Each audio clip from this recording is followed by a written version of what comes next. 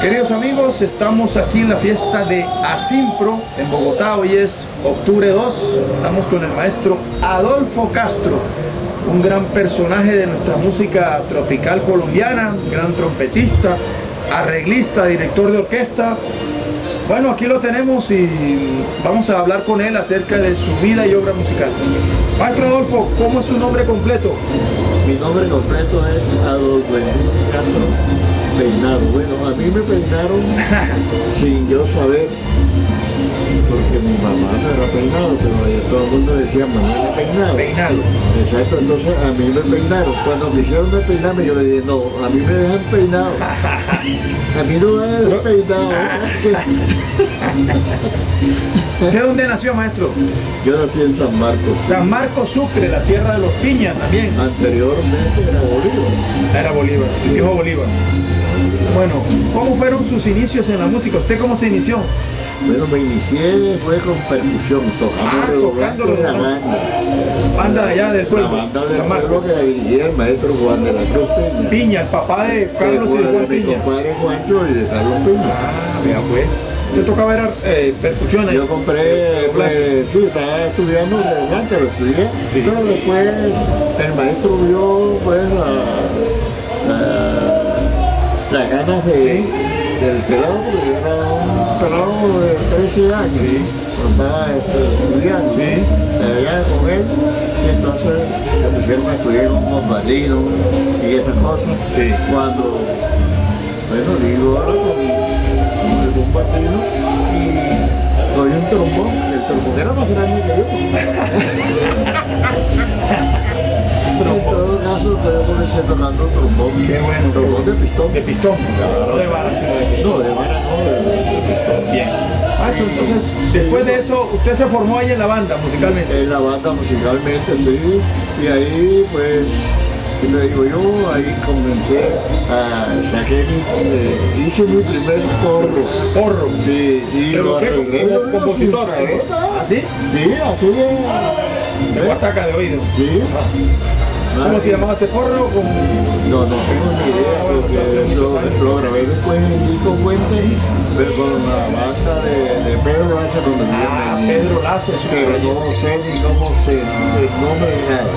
Bien, entonces usted empezó fue con la banda allá en su pueblo. ¿Qué pasó después?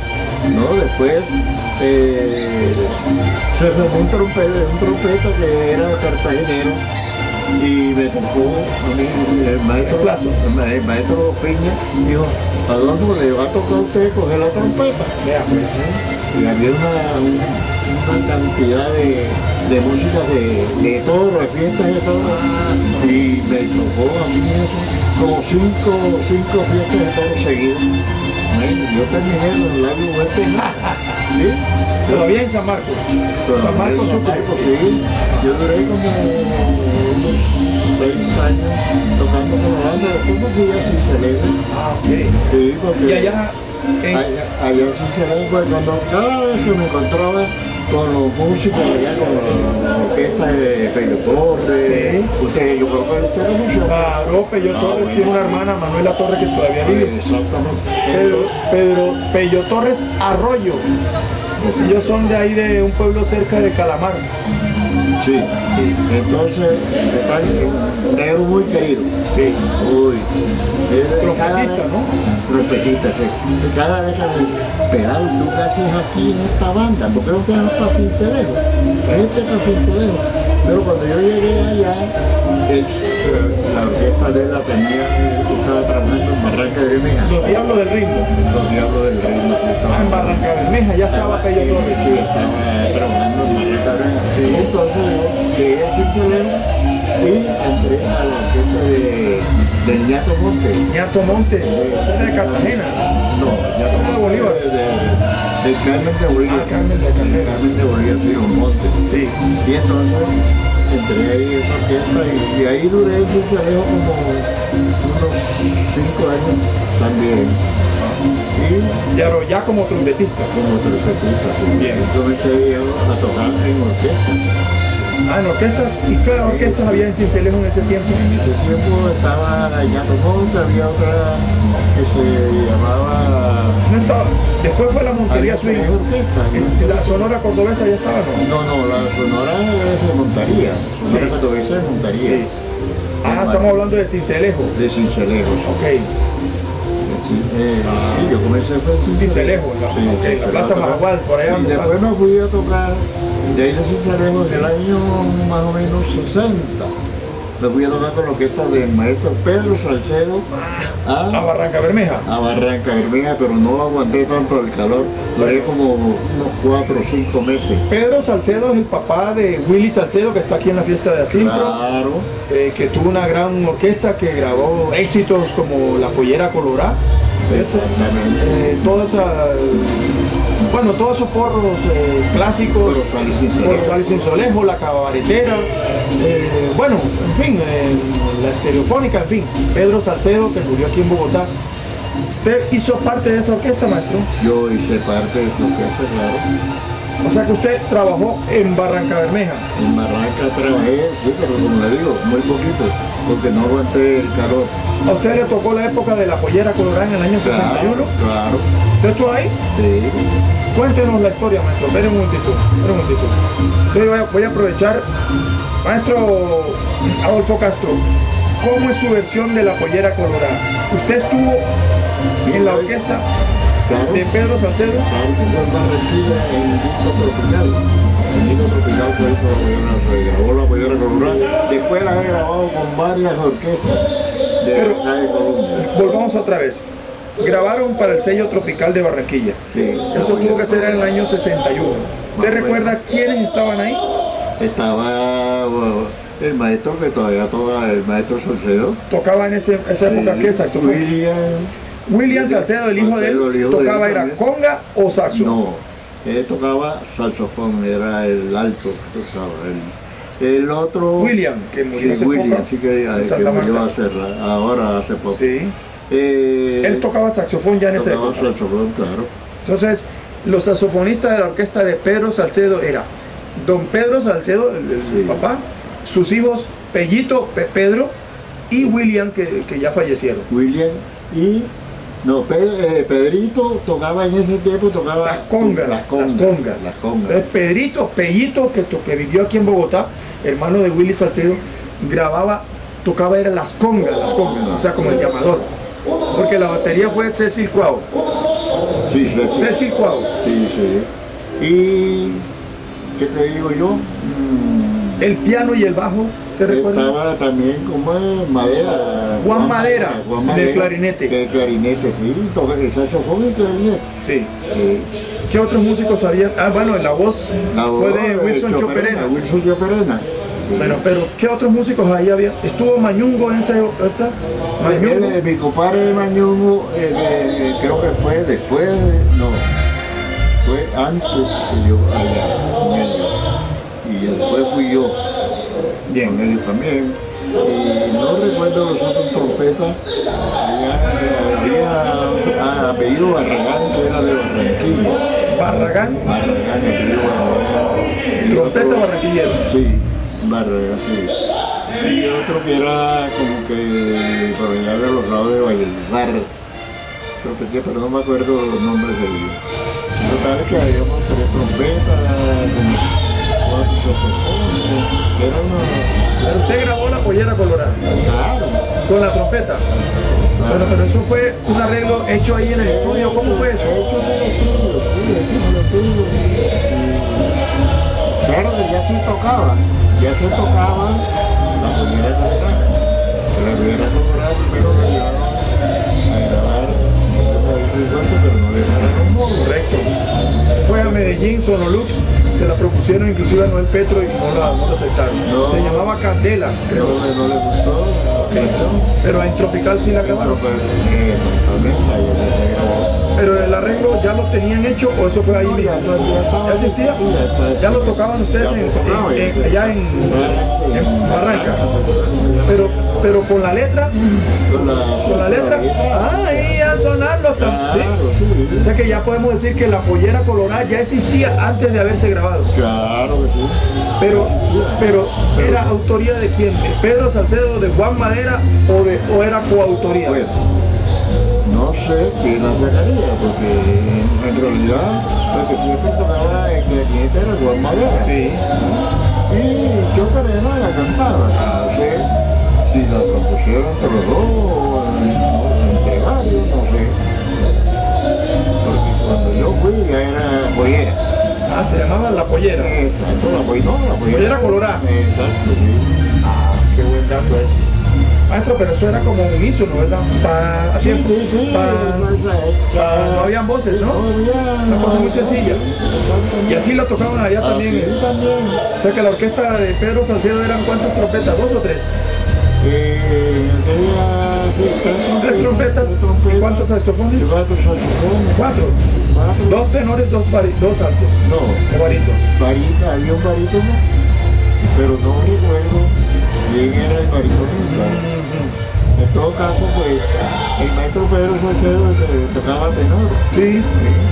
Eh, Juan Madera tocaba alto y William alto. No, no, eran tres saxofones, tres saxofones. Bueno, entonces usted en el año 61 estaba en Barranca. ¿Se devolvió por el calor? ¿Cómo fue? Y el calor me dio de Barranca. ¿A dónde, a dónde se fue? Así, No, me así se lejos. Cuando llegó Cascarita, Estamos hablando de Cascarita, apellido Calderón. ¿Cómo se llamaba él? Eh, bueno, a él le decían Cascarita, yo lo conocía, era un señor bajito.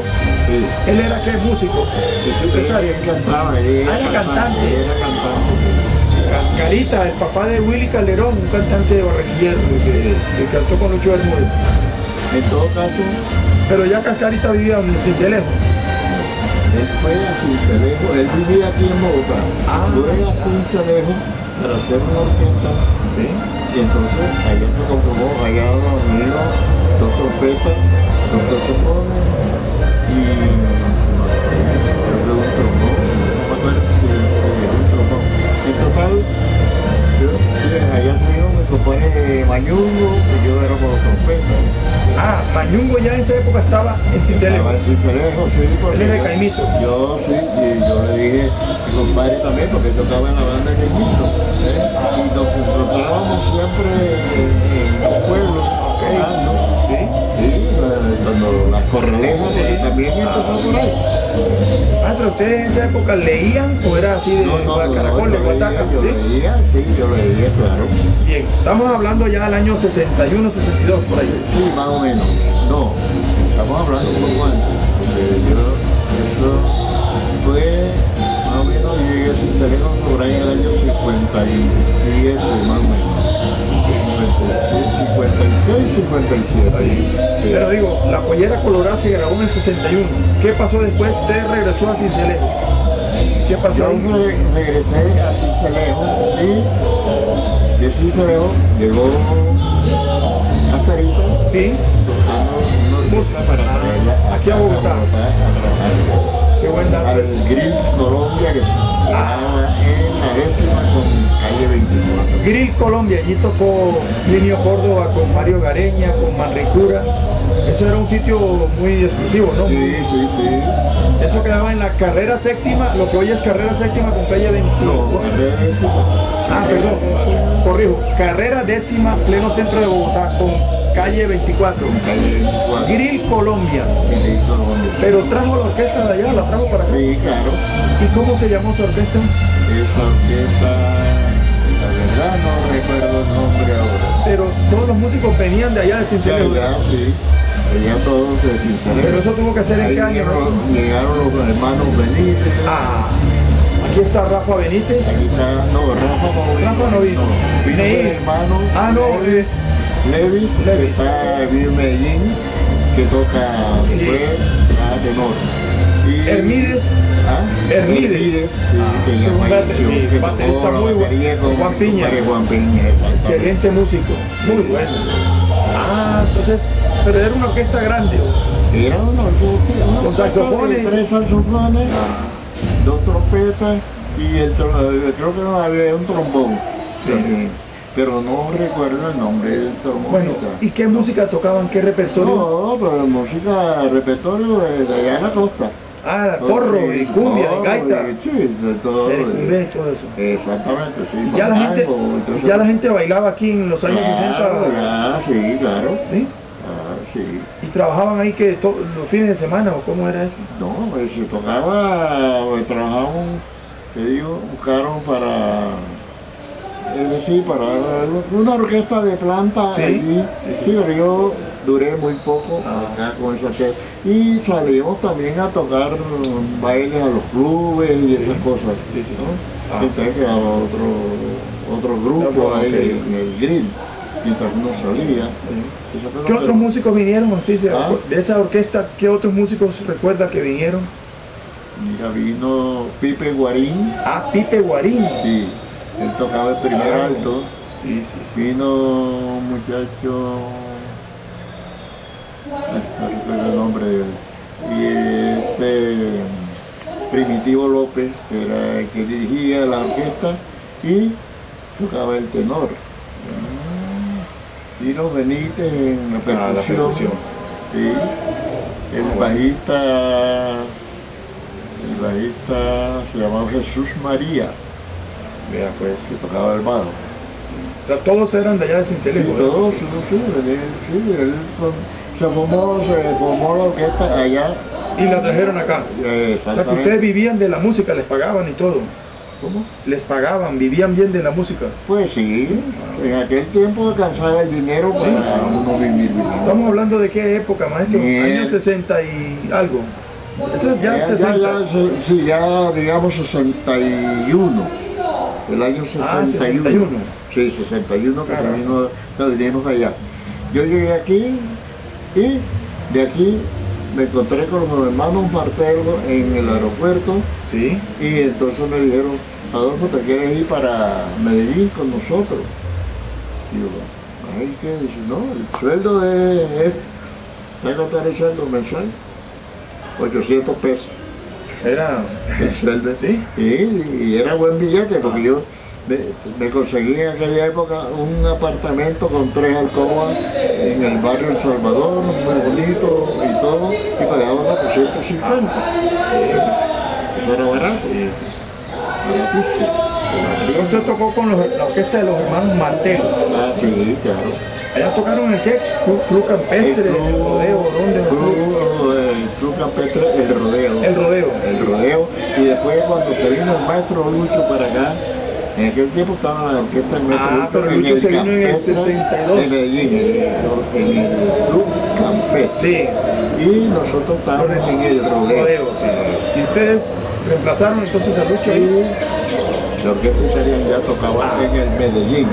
Club Medellín. Ah, Club sí, sí. Medellín. Ahora vamos a hablar de la Italian Jazz. Entonces usted le- eh, se fue con la orquesta de los hermanos Martelo para Medellín. Sí.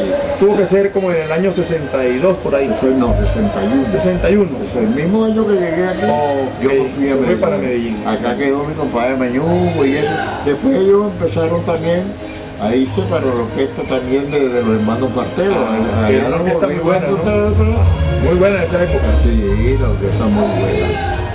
Buenísima. ¿Y Es que- cuánto tiempo duró ahí, maestro? Eh, bueno, yo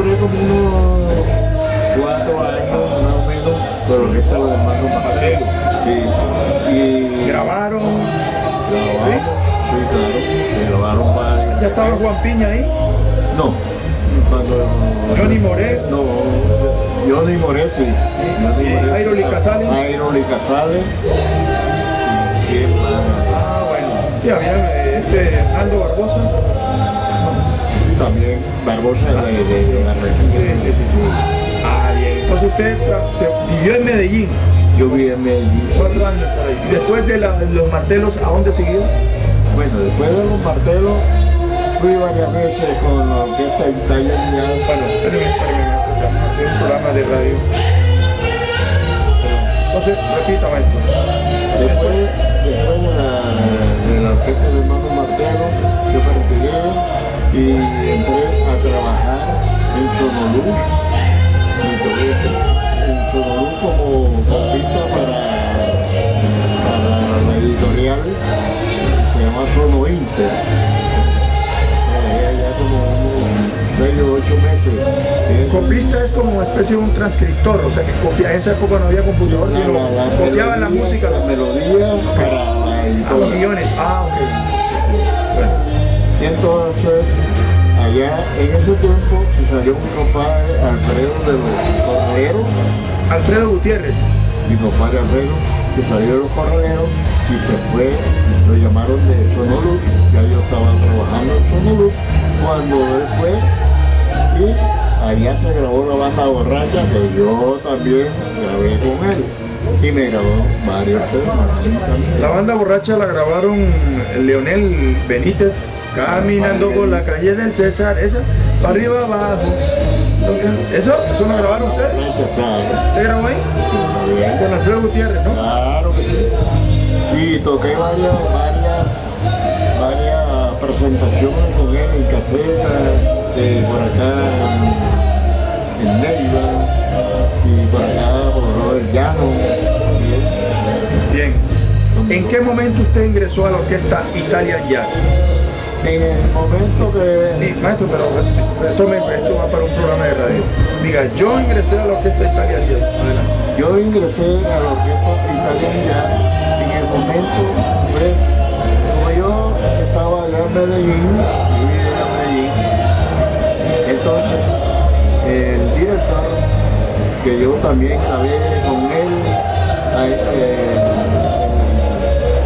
el paso Feria de Manizales. De Manizales. Guillermo González. Guillermo González. Guillermo González.